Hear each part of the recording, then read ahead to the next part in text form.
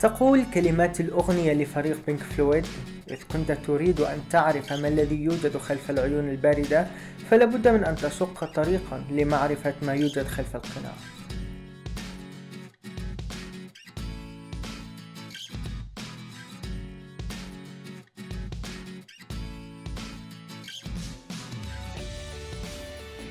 فيما لو حاولنا فهم ماهية الكينونة أو النفس الداخلية فمن الممكن البدء بالتعرف على الأشخاص لا يعني ذلك بالضرورة فهمهم.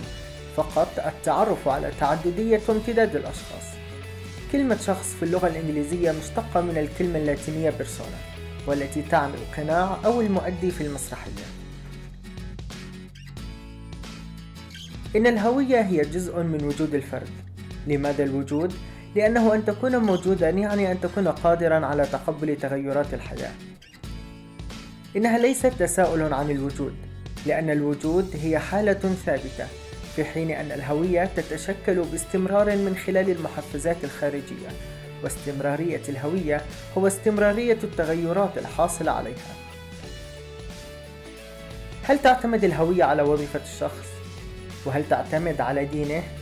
ثقافته؟ هل هو الخير الذي يفعله الشخص؟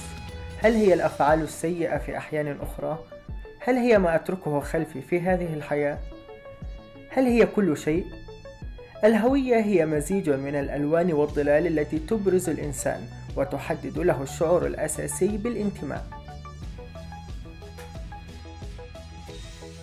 هذا النهج الذي يعود بنا إلى عصر التنوير والتي تعتبر الهوية كمركز فردي لتقرير المصير على أساس عقلاني.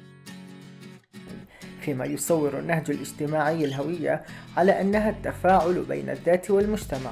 هو أيضا يحتم على أن معرفة الآخر أمر أساسي لفهم من أنا أكون ومن لا أكون وكيفية تأثير وتقاطع مسار الآخرين معي وعلي.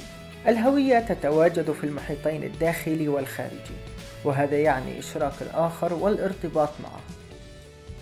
تقول كلمات الأغنية لبينك فلويد في رسالة أخيرة موجهة للجماهير. مجتمعين نقف. متفرقين نسقط